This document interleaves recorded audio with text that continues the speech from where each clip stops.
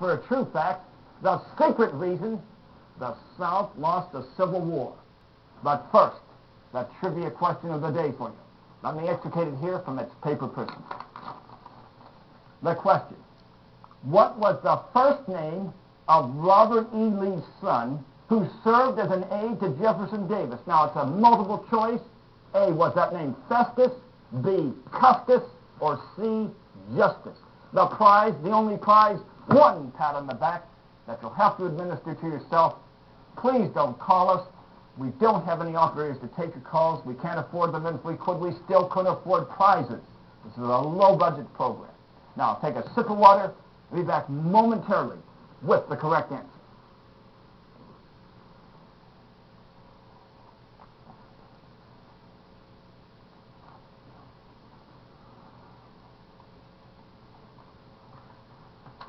Okay? I'm calling time. Again, what was Robert E. Lee's son's name? Was it Festus, Custis, or Justice?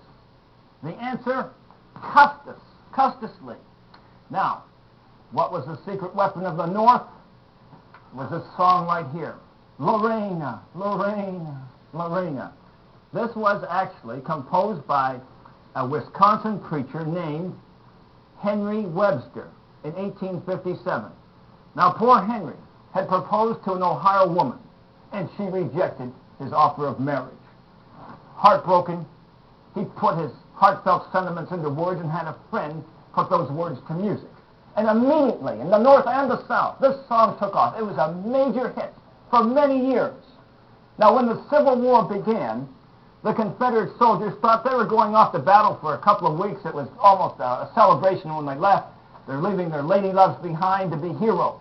And of course, you know what happened. It dragged on year after year after year. They were tired and hungry. They were being shot at. They had to kill others. They saw their fellow soldiers being shot to death. So they were already disenchanted with the war. But they also missed those lady loves. And as they marched along, they were singing this song about lost love, Lorena. And it drove many of them over the brink, caused them to desert. Thousands deserted because of this song. You think I'm exaggerating? The Confederate General John Hunt Morgan called this that cursed ballad and offered a reward for the assassination of Henry Webster. He said it cost him at least one major victory because he lost so many soldiers to desertion because of it. And that in turn might have turned the tide of the Civil War.